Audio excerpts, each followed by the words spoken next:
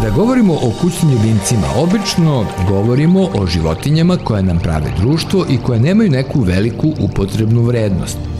Oni ne moraju da čuvaju posede, love štetočine, niti da pomažu u nekim ozbiljnim fizičkim radovima. Međutim, od nedavno, jedna vrsta ribice nabavljana za ljubimca ima veoma zapaženo mesto u specializovanim kozmetičkim salonima. Ona, verovali ili ne, jede izumrli površinski sloj naše kože. Ne brinite, ne radi se o nekoj novoj vrsti pirane, već o ribici koja se zove gararufa.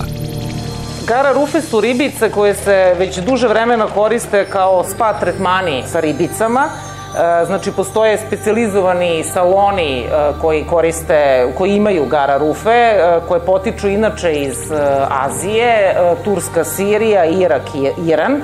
Žive u vulkanskim vrelima, temperatura između 28 i 38 stepeni.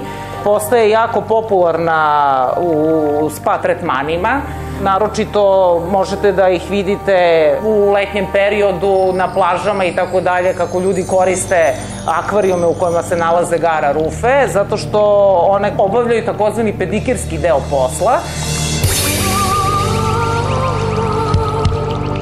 Gararufe nemaju zube i ceo tretman je potpuno bezbolan. One zapravo sisaju mrtvi sloj kože, uspostavljaju bolju cirkulaciju u perifernim slojevima kože, a zahvaljujući substanci koju ispuštaju tokom uklanjanja izumrlih ćelija, značajno regenerišu površinski sloj naše kože. Pored kozmetičkog dejstva, gara rufe se sve više koriste i u medicinske svrhe, jer su zapaženi odlični rezultati posle tretmana kod pacijenata obolelih od psorijaze. Znači one otklanjaju čak i ožiljke, e, kako površne, tako i dubinske, sa zavisi i od broja tretmana i tako dalje. Ono što je dobro kod ovih ribica, što znači nemaju zube, ne prenose se krvno prenosive bolesti, što je jako bitno. Znači nisu zabeleženi slučajevi nevevožeside ili raznih e, hepatitisa i tako dalje, drugih bolesti.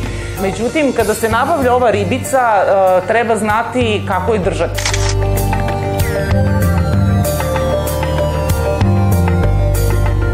Pored akvarijuma odgovarajućih dimenzija, gararufe zahtevaju i dosta visoku temperaturu vode.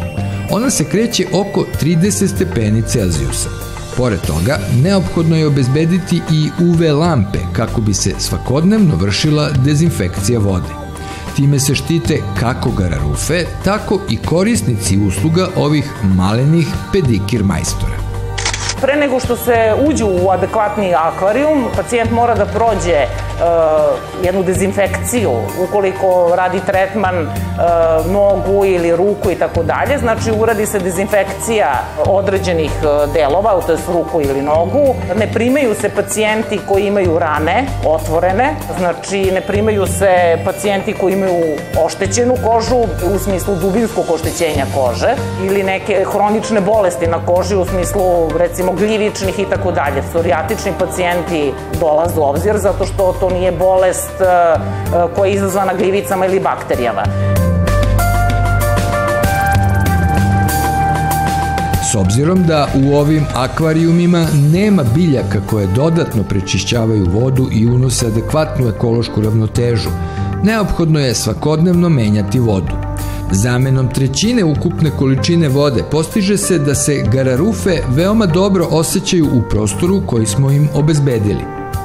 Otprilike treba jedan period od jedno mesec, mesec i po dana da se napravi ravnoteža u akvarijumu, to jest da se uh, omogući naseljavanje pozitivnih bakterija koje u ovoj situaciji, pošto opet nemamo biljke i ne možemo da napravimo jedan normalan mikrosvet koji je adekvatan za uh, normalan akvarijum sa biljkama, jel?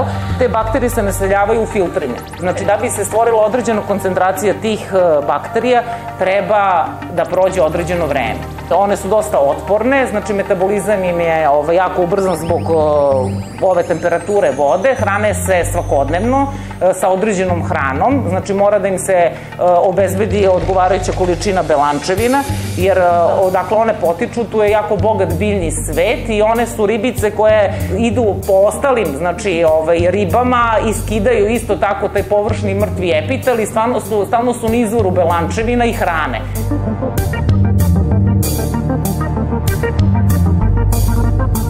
Dakle, pored toga što se hrane površinskim slojevima kože korisnika ovakvih spa centara, gararufama treba obezbediti i veštački pripremljenu adekvatnu hranu.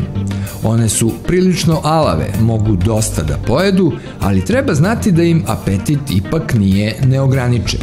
Upravo zbog toga tretmani ne smeju trajati duže od 30 minuta, a posle toga im treba obezbediti bar još toliko vremena da se odmore i svare pojedeno. Ukoliko ste pristalica ovakvih prirodnih kozmetičkih pa i medicinskih tretmana, izvolite i posetite neki takav salon. Pored toga, možda nije loše za promenu da probate kako izgleda kada vi predstavljate nečiji ukusan obrok.